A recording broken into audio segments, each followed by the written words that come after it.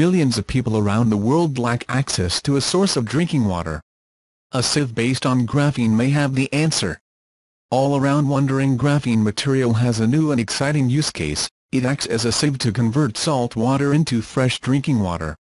Research, which could potentially have a huge impact on the provision of safe drinking water for millions of people around the world who currently lack an adequate supply of it, was carried out by researchers at the University of Manchester in the UK, and published in the journal Nature Nanotechnology. More, MIT researchers have developed a sponge-like material 10 times stronger than it. Graphene oxide membranes are known to be promising candidates for filtration technologies, such as desalination, which activates salt water in drinking water. Dr. Vasu Siddeswara one of the co-authors of the article, the reason this cannot be put into practice, however, is due to a problem with membrane inflammation when it comes into contact with water. As a result, it cannot be used for the purpose of desalination.